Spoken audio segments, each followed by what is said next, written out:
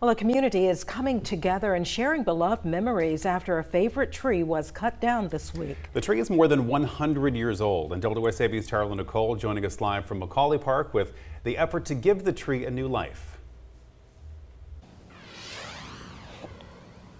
That's right, Vin and Tina. I am here in Macaulay Park, and right here you can actually see the century-year-old tree where it used to stand. Now, the rest of the tree was hauled off this morning by the city of Savannah, and they took it to an organization called Repurpose Savannah. But before we get into that, I just want to know all of the candles and the flowers. There was actually a memorial service held here this Sunday, or last Sunday, excuse me, for this tree because a lot of people in the community say it's just a beloved part of their community. We had kids telling us today that they grew up with this tree from pre-K, climbing on it, falling out of it. So it's definitely going to be missed. But the good news is the tree is going to come back in a new way. They're going to be repurposing it at the organization I spoke to earlier today that is called Repurpose Savannah. So they are going to be taking that tree and turning it into park benches for Macaulay Park.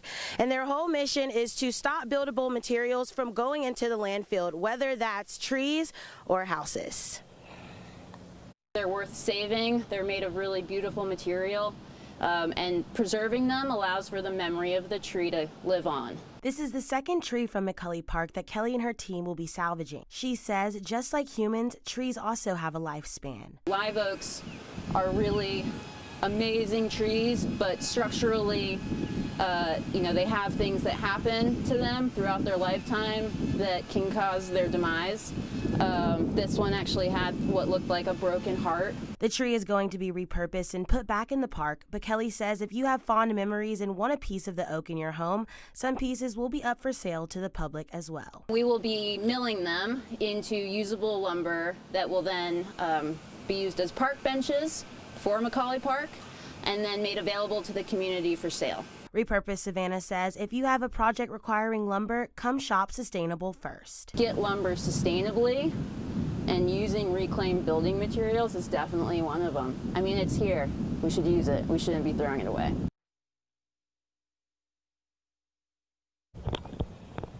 Now, like we said earlier, trees are not the only thing that repurposed Savannah will take a hold of. If you have a house that was built before the 1950s and you're thinking about maybe demolishing it, they ask that you give them a call so they can turn that house into reusable, buildable lumber. And when we come back at 6, we're actually going to talk to a student who had differing opinions about the tree. Now, we've had everybody has said they loved it, but some people say that they feel like the community is making a really big deal over this tree and they don't think it's that serious. So we'll hear from that side coming up at 6. Reporting live in Macaulay Park, Tyler Nicole, WSAV News 3 on your side.